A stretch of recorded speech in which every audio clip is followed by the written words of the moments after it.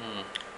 Hello, this is May to December, and today I'm going to be reviewing Assault Girls by Mamoru Oshii, who also directed the worldwide hit phenomenal Ghost in the Shell. This film is a very slow paced, scene from scene movie where four people in a virtual game, and basically they just shoot at monsters and score points and there's only four characters. Three of them are played by Rinko Kikuchi, Meisa Kuroki, and Hinako Saeki. And the the guy, let's see if it says on here. Oh, okay, it is.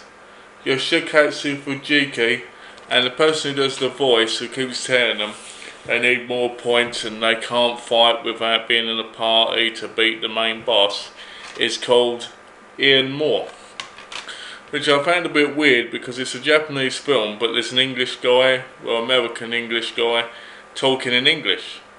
And it's a very weird game because you see him from scene to scene just walking about and looking at snails and I think one of them eats the snail and it's very very slow. It's a 17 minute movie but it could have been done in about 20, 30 minutes which is a shame because if it had been 20 or 30 minutes, it probably would have been far better.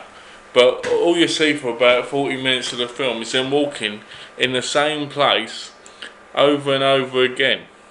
There's a scene where Crow, which is the woman in, all, in the whole black, is dancing about and hitting the hitting this big globe ball with her head, which just seems a bit weird because there's no real relevance to it.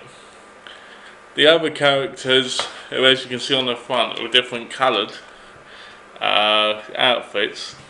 They're very uh, quiet. You don't get much talking until like the last 12 minutes.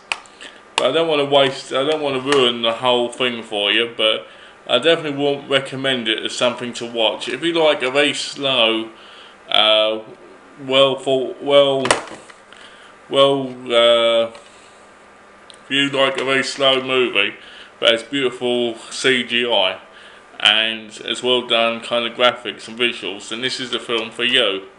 But on the other hand, it's so slow that you get bored wishing something would happen. The actresses are very beautiful and they play their roles really well. But other than that, it just it just sucks basically. Thank you.